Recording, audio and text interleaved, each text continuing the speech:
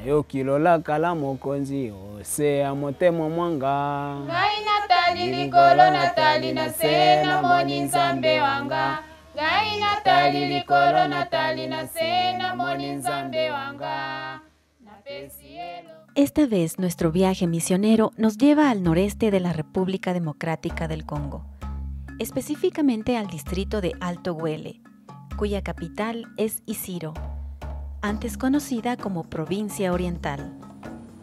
La ciudad se encuentra situada entre la selva ecuatorial y la sabana. La mayor parte de la población habla lingala, aunque un porcentaje considerable conoce el suajili.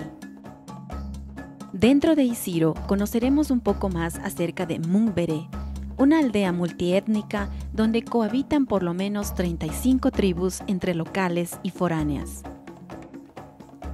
Entre estas tribus están los pigmeos, término de origen griego usado para referirse a grupos humanos, cazadores-recolectores que viven en las selvas ecuatoriales africanas y que se caracterizan por su baja estatura.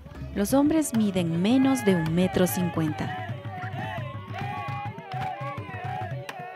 Esta población por muchos años ha sido considerada la servidumbre de las diversas tribus que por tanto tiempo los han dominado. También conoceremos acerca de la misión comboniana, que con su labor ha logrado cambiar la perspectiva de este pueblo explotado y que además los ha insertado en proyectos de salud y educación. Yo llegué al Congo en 1972, esto es hace 42 años. Exactamente en enero de 1973 llegué aquí a Mumbere como mi primera misión. La situación que vivíamos entonces estaba bajo la dirección de Mobutu, del Partido Único. La vigilancia era intensa a través de capataces que se llamaban Kandere. Ellos controlaban todo. Eran personas que no tenían ningún valor intelectual, ninguna preparación, ni siquiera humana, pero causaba miedo a la gente, la metían en problemas.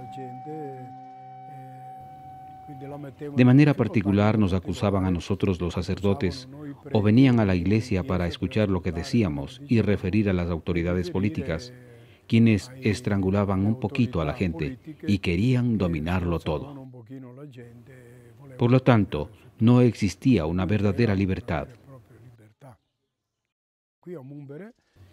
Aquí en Mumbere había, sin embargo, un desarrollo que se apoyaba en las plantaciones. Aquí había por lo menos 35 plantaciones que agrupaban a muchísima gente. Los patronos siempre, entre comillas, delegados del Estado, habían contratado a la población para tener la mano de obra. De modo que había gente que venía del sudeste del Congo, de todas partes del mundo. En realidad Mumbere es una aldea, digamos, multiétnica. Hay por lo menos 35 tribus. Esto pues ayuda a la población a tener un clima más abierto para ayudarse recíprocamente y evitar el aislamiento como por ejemplo Aisiro, Auamba, Rongu, que son monotribales y entonces la situación es más cerrada. Aquí en cambio hay mucha más apertura precisamente por esta capacidad multiétnica. Y parte de este abanico de tribus son los pigmeos, gente que según palabras del padre Franco ya existía desde hace 3.000 a 4.000 años antes de Cristo, en la época de los faraones de Egipto, quienes los compraban como esclavos y los obligaban a trabajar como sirvientes. Se los usaba también para divertir a la gente, en especial en la danza, pues eran excelentes bailarines. Actualmente son el último escalón en la cadena de servicio.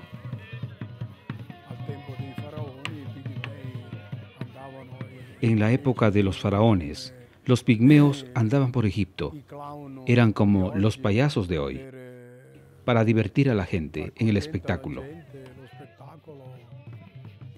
Y siguen hasta ahora siendo un poco gente que es observada y conservada para el uso de los demás.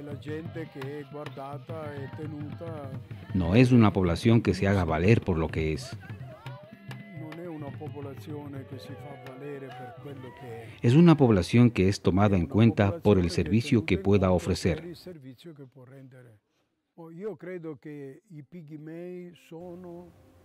Yo creo que los pigmeos son los verdaderos autóctonos de esta tierra. O sea, a partir del Camerún,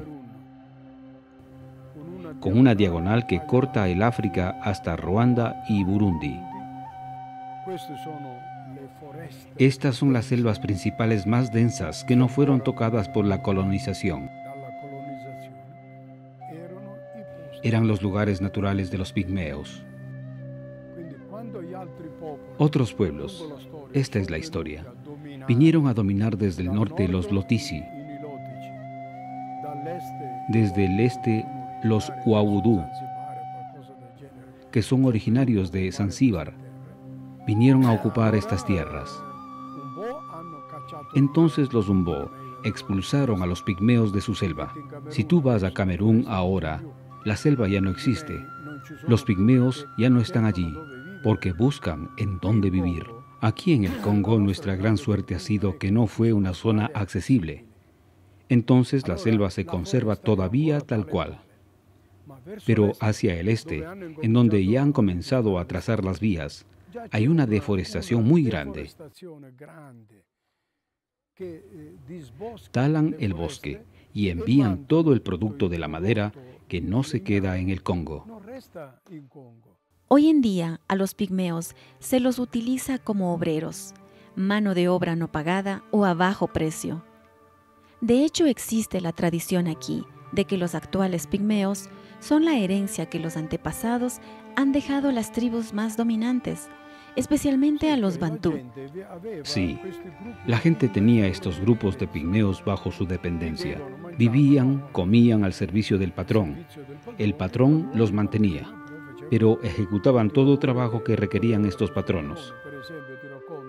Por ejemplo, en Tirocongo, en una ocasión, como era la primera vez en que entraban en una zona para buscar un grupo de pigmeos, trataron de localizar a los pigmeos y estos, ¿en dónde se encontraban? A lo largo del camino se encontraba la casa del patrón. Detrás de la casa del patrón, ¿qué había? La cocina del patrón, una especie de cobertizo para hacer secar los platos. Luego, ¿qué había? El gallinero y el retrete del patrón. Tras del gallinero y el retrete del patrón estaba el campamento del pigmeo. Entonces le dije al pigmeo, ¿son ustedes animales de este patrón que les humilla o son personas que merecen respeto? Si son personas que merecen respeto, ¿por qué no salen afuera, lejos del retrete, lejos del gallinero del patrón, y se colocan cerca del camino, en donde puedan construir sus casitas, sus campamentos, a la vista de la gente, sin esconderse de nadie. En el campo que es trabajado por los pigmeos y que es el campo del patrón, sacan la yuca y comen. Van a romper el puntú o maíz y comen. Van a cortar un racimo de plátanos y comen. Pero comen siempre como gente que es de la familia del patrón.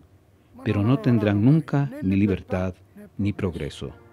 Son más o menos 25 años desde que la misión componiana ha intentado cambiar esta estructura social. No ha sido un trabajo fácil, tomando en cuenta que a las tribus más numerosas y fuertes les resulta muy conveniente mantener el sistema, tal como nos cuenta el padre Franco. Hace 25 años iniciamos una actividad más específica con ellos. Desde un principio ha sido difícil, porque, por ejemplo, cuando el padre Pietro Bardo, uno que empezó aquí en Múmbere de modo particular esta actividad, de manera sistemática iba a buscar a los pigmeos en la selva, pero muchas veces no los encontraba. ¿Por qué? Porque los patronos habían expulsado a los pigmeos cuando supieron el programa del padre. mandándolos a otro lugar para que el Padre no los encontrara y decían, el Padre Blanco viene y me come. ¿Comprendes? Estas situaciones eran realmente discriminatorias. Eran verdaderos siervos en manos del patrón. Con el tiempo han perdido ese miedo al blanco. Han comprendido el objetivo que nosotros tenemos de buscar su autonomía, su independencia, su dignidad. Y les dejaron que se acerquen a nosotros y poco a poco han empezado a actuar en actividades de desarrollo y al mismo tiempo de integración con la gente. Los pigmeos ven que los misioneros no los toman como sus sirvientes. No es que han cambiado de patrón. Ven a los religiosos como personas que los promueven y que los capacitan para integrarse a una sociedad. No se trata tampoco de retirarlos totalmente del servicio de sus patronos, porque perderían la posibilidad de alimentarse en sus campos. Se trata simplemente de ofrecerles oportunidades educativas y sanitarias. Y precisamente una de las estrategias para lograr esto fue la creación de una escuela internado para los niños. El proyecto de los pigmeos ha seguido adelante con el fin de crear una comunidad cristiana responsable de este pueblo, porque aquí los pigmeos son postergados, son arrinconados, son marginados. Nosotros hemos apuntado el objetivo sobre la escuela porque los pigmeos adultos no cambiarán nunca sus ideas y sus formas de vivir. La esperanza de tener un pueblo nuevo son los muchachos. Aquí existe ya la segunda generación de pigmeos, es decir, los padres de estos niños que están allí en el colegio. Son personas que disfrutan de estas viviendas. Hemos apostado en la escuela para ayudarlos, porque es la única esperanza de preparar a este pueblo para encontrarse con una nueva civilización que están haciendo en el mundo y para insertarlos en la sociedad con dignidad e igualdad con las demás tribus. Hemos visto por nuestra experiencia que los pigmeos no van a las escuelas públicas de las aldeas, van durante tres días y nada más. Entonces interrumpen la frecuencia escolástica, repiten el curso y se sienten humillados frente a los demás niños más pequeños. Entonces hemos dicho, no, no podemos hacer el primero y segundo año de la escuela en sus casas. Pero tampoco podemos separarlos de sus padres. Entonces hemos creado este colegio en 1993 preguntando a los padres, ¿nos enviarán a sus niños? Los padres estaban contentos. Entonces los niños vinieron enviados por sus padres, a los cuales hemos dicho, si quieren que sus hijos vengan aquí, deben construir los planteles. El primer colegio de los pigmeos ha sido construido precisamente bajo estas palmeras, en un terreno más libre, donde han comenzado la construcción de estos lugares con lodo y troncos de árboles. Hasta que después de transcurrir varios años, en el año 1995, hemos construido con ladrillos estos ambientes. Los padres han enviado a estos muchachos.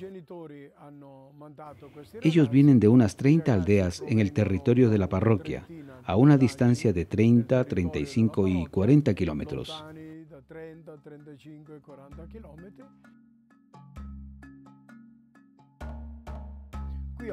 Aquí en Mumbere, tú has visto un pigmeo que es maestro, o un maestro pigmeo. Tenemos otros dos maestros pigmeos que están en Uamba. Así la escuela ha dado frutos para poder lograr, digamos, que los pigmeos puedan comprender. Pero no puedo poner el Evangelio en manos de los pigmeos, porque no hay quien sepa leer.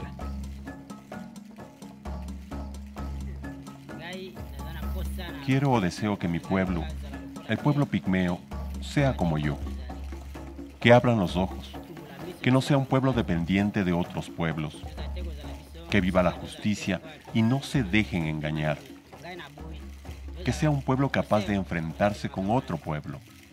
Personalmente pienso que el trabajo que ustedes están haciendo es bueno, porque estamos mirando los resultados. Hoy tenemos a los profesores y a algunos médicos que son fruto de su trabajo. Dios, Dios es nuestro creador, por lo tanto, Él es como un padre para todos nosotros. Jesús es nuestro hermano que vino antes que nosotros. Él es nuestro hermano mayor. No se puede predecir el futuro de los pigmeos, más aún cuando las estadísticas nos dicen que el 50% de sus niños muere antes de llegar a los 5 años, o que de cada 10 niños que nacen, solamente 4 llegan a los 15 años. Luego que los chicos llegan a los 15, son un grupo ya seleccionado naturalmente y llegan hasta los 40. Después de los 40 años, comienzan a menguar. A veces, el que un día antes te parecía un joven fuerte que va de cacería, que se enfrenta a las fatigas de la floresta, le llega de repente una enfermedad y pronto se muere. Efectivamente, no existen pigmeos viejos. De hecho, entre 1.300 pigmeos podemos encontrar a unas 15 o 20 personas que tienen 60 años. No existen pigmeos viejos. Nosotros moriremos o nos iremos. Después habrá sacerdotes locales o las diócesis que se harán responsables. Si faltasen medios económicos para prestar atención sanitaria, estos pigmeos estarían en riesgo de desaparecer por motivo de esta mortandad, tanto de los niños antes de los 5 años, como también de los que tienen una edad de 35 años. Los pigmeos no resisten fácilmente a las enfermedades y entonces podrían desaparecer. Sin duda, la gestión de los misioneros ha sido determinante en el progreso de los pigmeos pero es deber de los gobiernos locales y de la comunidad internacional velar por la protección de este pueblo y de la selva, que es su hogar. En ella habitan, de ella se alimentan, allí forman sus familias y es el lugar donde plasman sus costumbres y tradiciones. Es la selva en donde quieren vivir y donde es inminente que sus derechos como seres humanos sean respetados y promovidos porque el que fue llamado por Dios siendo esclavo, libre es para él.